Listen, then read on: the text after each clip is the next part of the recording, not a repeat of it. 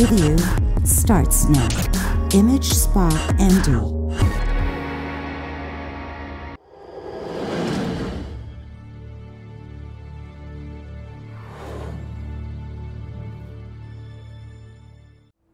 Welcome to this episode of The Sacred Self. I'm your host, Steph Sifandos, relational alchemist, community builder, and change maker, and it's my honor and my pleasure to be here with you today. Speaking to a sensitive subject today on vulnerability, empowered vulnerability in intimate relationship in particular.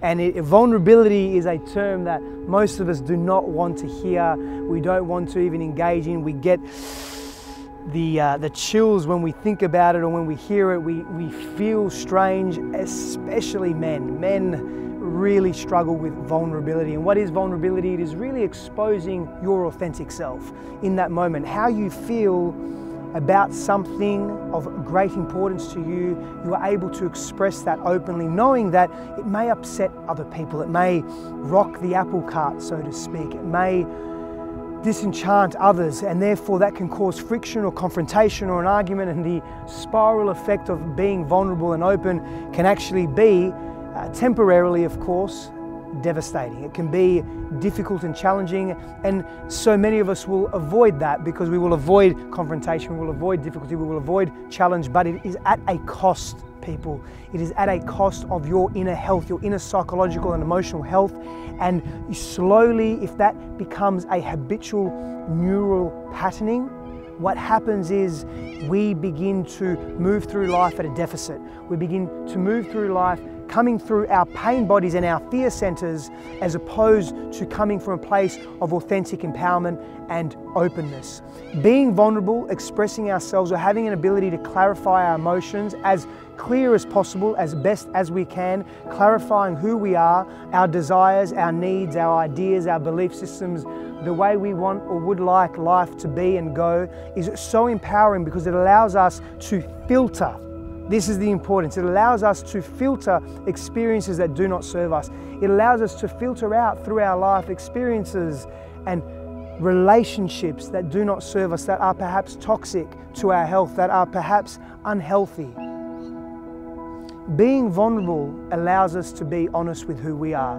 It allows us to embody and pursue experiences that actually matter, that mean something to us, that are of grave importance. And it allows other people as well to make choices, conscious, open choices about what they wish to bring into their lives. Because perhaps your values may not align with theirs, and they have every right in intimate relationship to know that, to be aware of that to be familiar with that. And these are lessons that I have learned over the years, of course, most of them the hard way. So I stand here before you imparting this, this knowledge and this wisdom, this embodied praxis of being vulnerable is key to our emotional health and integrity.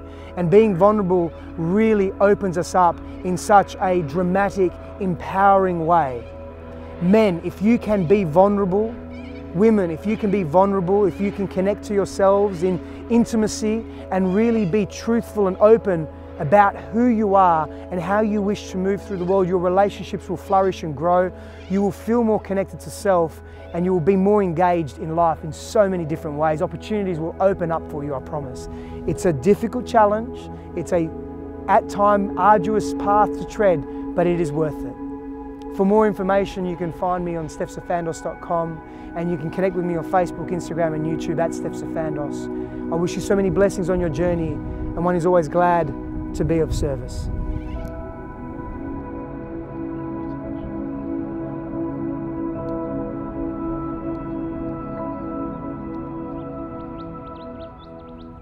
These faces look familiar. Their lips curve to smile at you, as if they've known you forever. They welcome you with open arms and hug you like their There's own. something about them. She holds my hand and listens. Then she prays with me. He asks how my day is going. He doesn't judge me.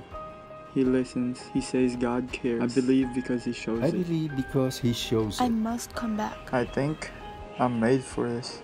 I leave my home broken and I come to this place that is lit with beautiful faces who love God. Who love God. Who love God.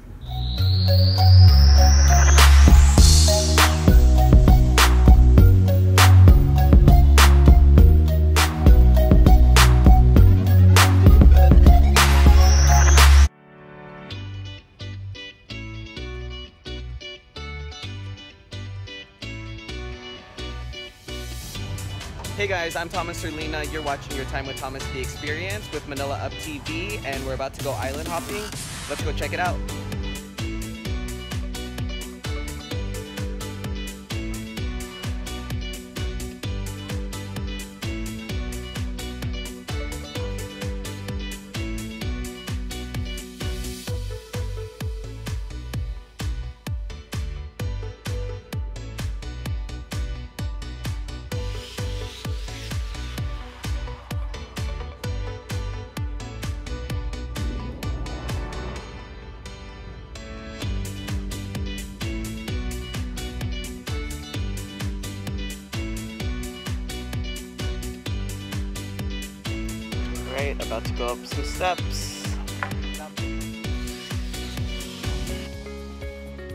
Almost there.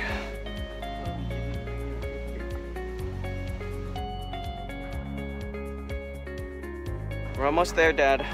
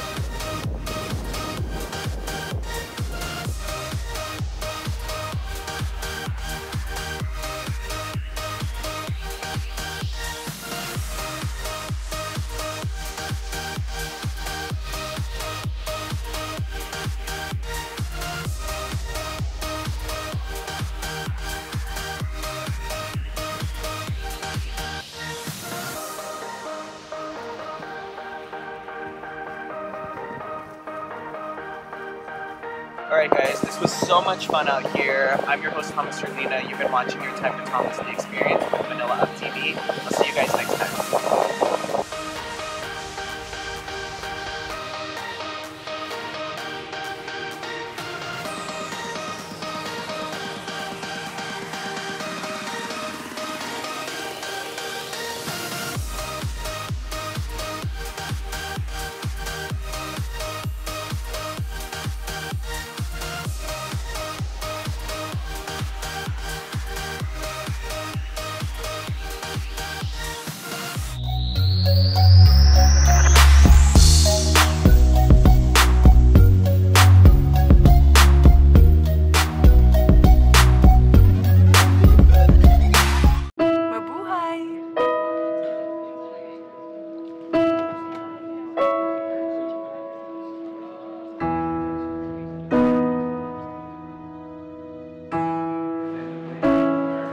Over the last 75 years, the unique warmth of our people has touched millions of lives. The heart of the Filipinos shining through. Philippine Airlines shining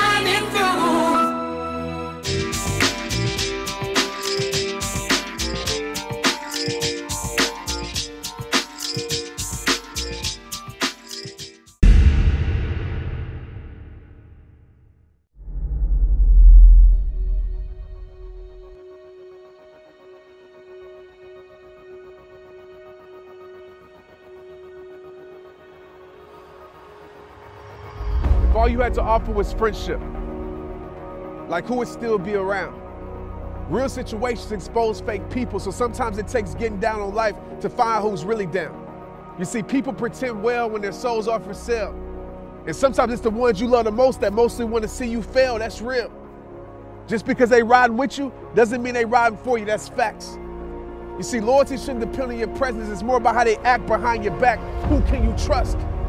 I mean, some of us are fighting for people that wouldn't throw a punch for us, and yet these are the ones we call friends.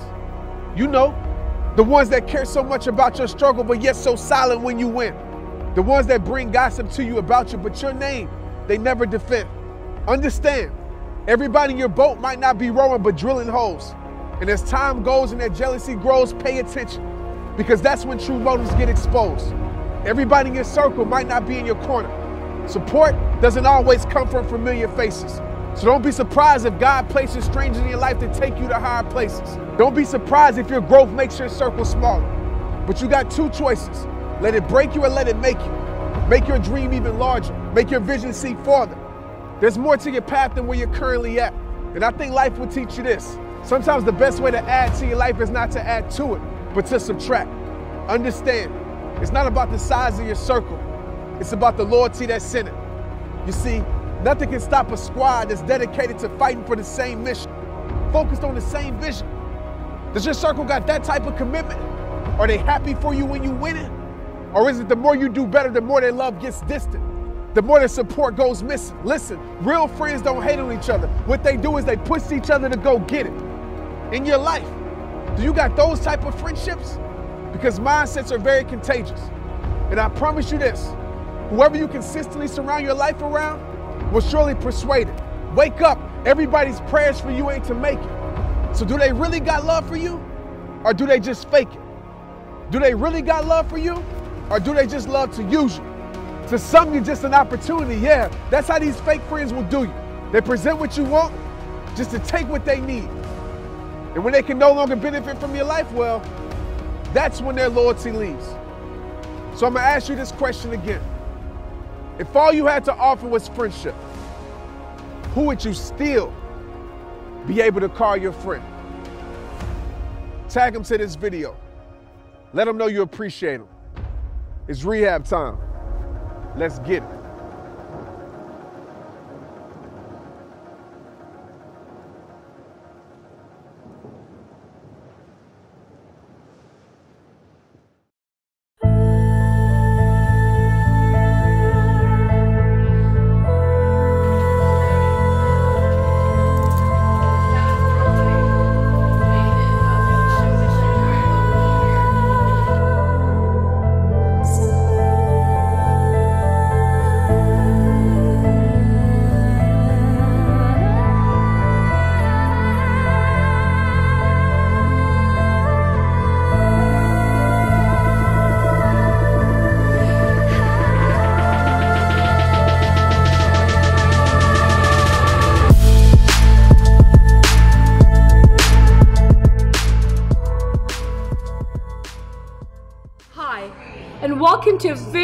Special world exclusive edition of Melody in Motion. I am your host, Melody Garcia with Manila Up TV. Today, I am so excited and so thrilled to be interviewing somebody who has directly impacted my life and ignited the very message that lives within me.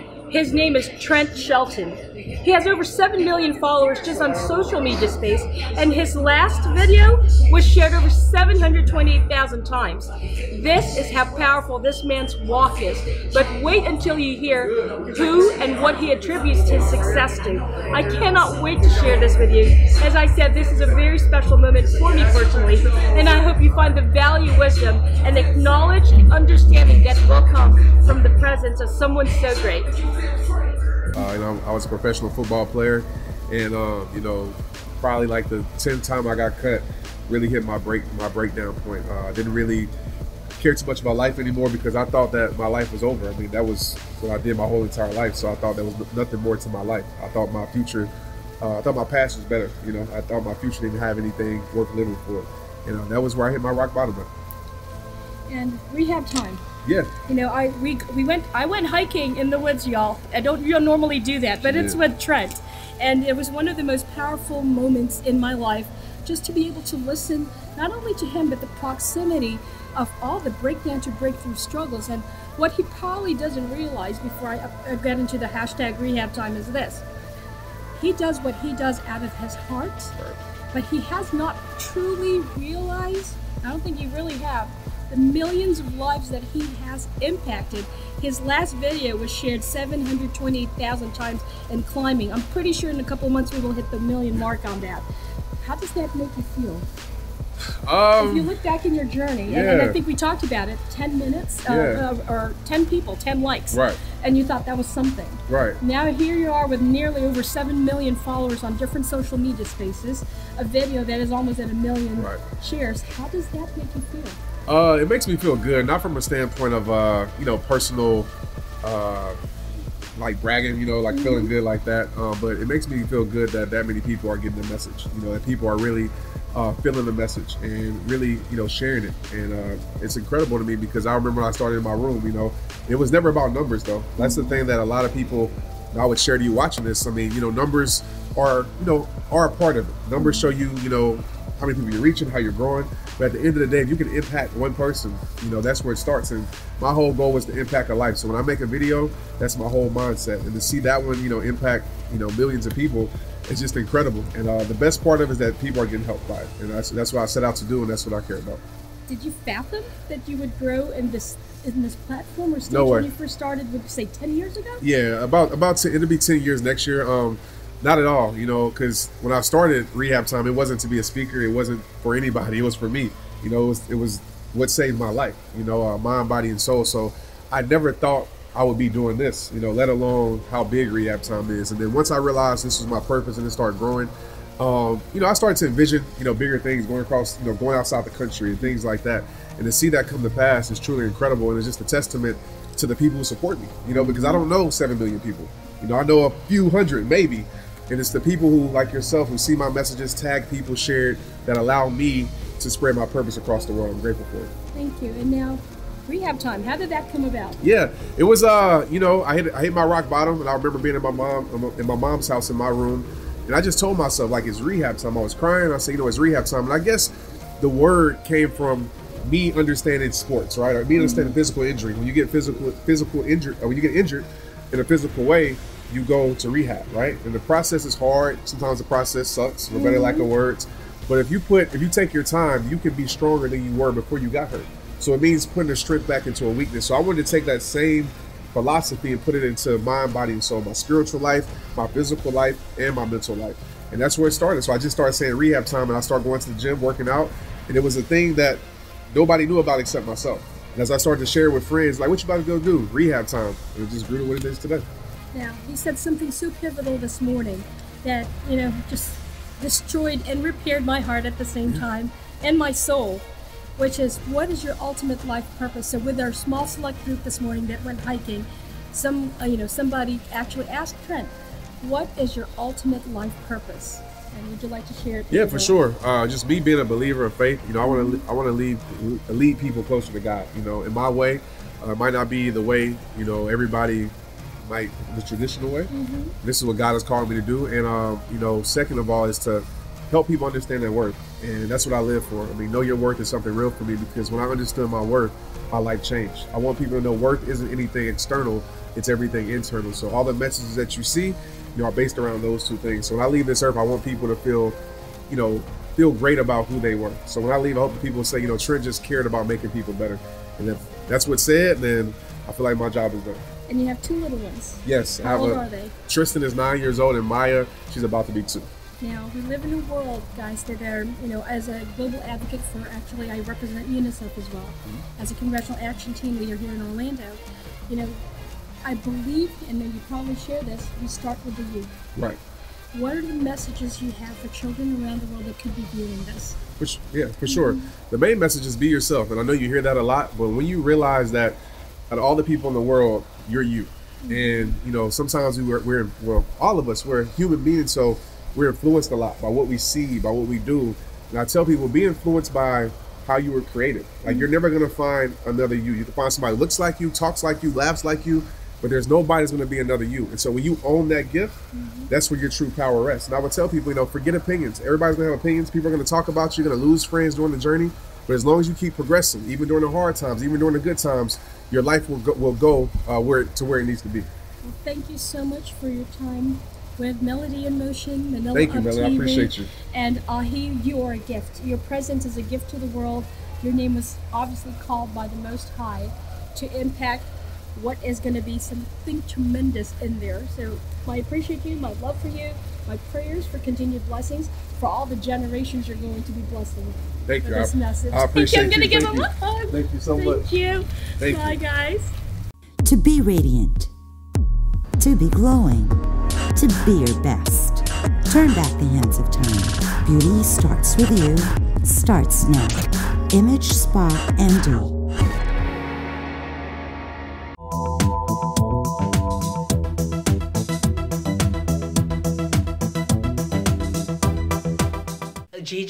basically welcomed you into her Yes, home. yes. So tell us about that because Filipinos are just so inviting and so hospitable. So tell yes, us. I so agree with you on that. I, I was in college at the time, and Gigi and I, I met her when I was uh, working. Mhm. And so we all became really good friends through our friend Lisa Harrington. Yeah. Um, who I started modeling with years ago. And so we all became really good friends. And then I think I was either losing my apartment or needed a, spa- a, a place to stay. Yeah. And she said, hey, you can come live with us. I don't think she let her mother know that because it was her mama's house. But the mama was like, well, hey, as long as you pay your rent, Yeah. keep it clean, Yeah. we're all good. and so they became my extended Filipino family Gigi, Lisa, and mom. Oh and to this day, we are all still very good friends. Yeah. And they were at my book party. They were, was- they were. Yes. Did you enjoy yourself? I at the book did. party, I did. It was, she always throws the best parties, and that's what I love about her. Like she comes to my events, and I go to her events, and we're like the biggest cheerleaders for each other. Cheers! And you need those cheerleaders in your life, Mm. waving those pom poms and waving their hands in the air, and you're just like go Celebrating go go, you, yes. celebrating you because this is a milestone, you guys. An author is sitting right next to me, and also a friend, and it just like you know pulls my heartstrings that any anything could happen in your really life can. if you just put your your mind to it. So and also I wanted. So what's your next journey in life? Well, the Tell next us. journey I, I know what her next journey is. Y'all be prepared. Buckle up your seatbelt because here we go. Yes, I'm going to be on daytime. I'm going to be on television five days a week. Yes. Compliments of Dr. Phil. Yes. Um, I am going to be the host of a new Uh-huh. talk show called Face, the, Truth. And Face the Truth is like a panel style show. I'm the host, along with Areva Martin, who is our lawyer, Uh-huh. Rosie Mercado, who is our life motivational coach, and Dr. Ho. Oh, Dr. Ho. Dr. Ho is a psychiatrist. Okay, oh, don't get it yes. twisted. And, yes. I met her at your party too. I know, isn't she pretty? Oh my god. I love And, her. uh, she's Asian. My Asian persuasion See, look at with me. all, all us Oh. Asians. Started from the bottom, now we made our way to the top. Uh, Okay. Cheers Yeah, to so Asians. It's, yeah, so it's executive produced by Dr. Phil. Yeah. Dr. Phil gets so many letters. So he's now, some of his guests said, um, Do you want to go on my new show, Face the Truth, hosted Mhm. by Vivica Fox? Yeah. And what they do is they come on our show, they share their problems, and some are funny, some are, are, are sensitive, Uh. some are disturbing. Right. Um, so it's all different walks of life that are definitely going to be on the show. Mhm. And so we give them our advice and we try to offer them help Yes. straight up with no chaser. And for those that want to get help, we send them to places to get them help. And Oh, those that wow. don't, at least we hope that they face The truth. I love that. So coming this fall on CBS. And I still remember the uh, letter you wrote to God. Mhm. Where is that? So this is in the words of Vivica A. Fox. And she wrote to God, I want to be successful. I want to be a star. And I want to work as an actress. And I've got a taste of things, but it seems I can't go over the hump. It seems I'm always almost just making it and then coming up a little bit too short if you could just help me to stay focused and help me to stay positive, I promise that I'll be good and do it good and give back. And that was her letter to God. And look at what God has given her. Yeah. God's look what good. God is good. I know, I know. He gonna make me cry my lashes off. I just got ready. Hold up. Yeah, God is Yeah. good. But you know, my mama raised us across the street from the church. Oh, Yeah, okay. Off of, off of 38th and Emerson, Mhm. um, off of Leland. We lived right across the street from Reading Tabernacle. Mhm. And whenever those church doors were open, we was in church. I used to be like, Yeah. Mama, we go to church a whole lot. but growing, getting older, like I'm really glad that my mother install, inst- instilled those morals and discipline, and for me to know to never get too too big, and to know that my blessings come from God. Right. So that's why I always put Him Mhm. first. Yes, yes. And we have some also something in common too. My mom passed away nine years ago of breast ca- cancer, and your father passed away last year, right? Yes, Um, and it was like first of everything for you because it's the, the first Christmas, first Valentine's Day, and so His he- first birthday without him being here. Yeah, when was his birthday? Oh, January 25th. right, January twenty fifth. And Yeah. I mean, he is so proud of you, Vivica. I dedicated the book to his memory. hmm Yeah. and I, I read that too. And how was your father? Let's talk about your father. Oh, what a great man too, yeah. he was. Yeah, Daddy Fox. Mm. He was awesome. He was my best friend. Mhm. And it's like I, I miss him so much. I miss his early morning calls. He's the only person that could call and wake me up. Uh-uh. That, I- that when he calls, I would answer and he's like, "Get up, get up, show daddy calling." Wake And up! Yeah, so he used to be my wake up calls a lot of times, but I could talk to my dad about everything, about life, about my trials, my tribulations, my bad Mhm. relationships, um, feeling insecure. Right. He was my best friend. He was. And so I miss him. I have candles that when we did his memorial Oh, service- really? Yeah, that I made candles that I'll give you one. Yes. On the way out. Here you go, darling. Thank you. Those were keepsake uh, candles that we gave to all the guests that came to my dad's Uh-huh. memorial service, and we had them made in like four different. Um, my god godson's mother, India, Uh-huh. who was my acting coach's daughter, Uh-huh. Sheila, Sheila, who's in the book, who taught me so many lessons Oh my God. about acting. She made these candles, and they were images of this is of me and my father at a at a daddy at daughter daddy and daughter dinner. I love Um, that. that that we did, and then this was another time when he came to visit me in Toronto. Aw. Yeah, when I was filming. This is great. Yeah, and so th- th- there were like four different kind of candles